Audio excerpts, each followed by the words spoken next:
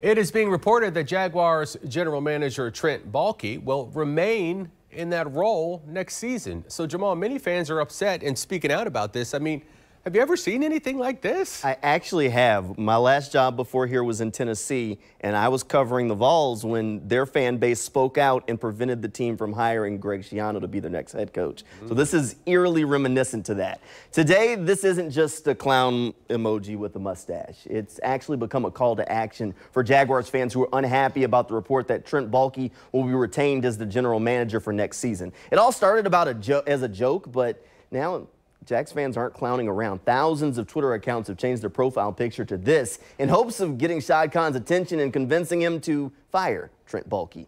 Fans are not taking the Trent Baalke news quietly. Some have decided that today was the time that they would speak out this tweet from HHH Hogg is an email that he sent to the Jaguars ticket office telling them that he does not plan to renew his season tickets next season.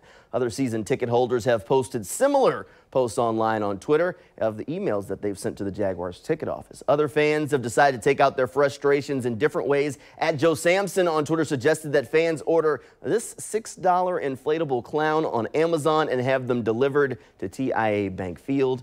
Let me tell you, there are multiple Amazon receipts that have been posted with deliveries scheduled as early as tomorrow. So we'll have to see what they do with those clowns. There's even a change.org petition that started this morning and it's closing in on a thousand signatures at this point. It'll be interesting to see how long this clowning around lasts and if it does lead to Trent Baalke parting ways with the team.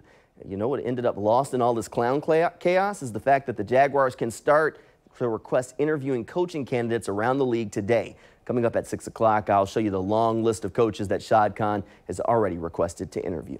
Tarek, Mary? Well, thanks. Hey, this has got a lot of you talking on News4Jax.com. Insider Valentino writes, Khan wants to make the Jaguars so bad that he will be able to move the team to another city of his choice, like maybe London. Shalom.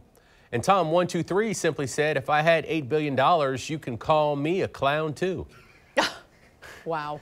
Ouch. You can join the conversation by becoming a News4Jax insider. It is simple. It is free. Just sign up. Go to news4jax.com slash insider.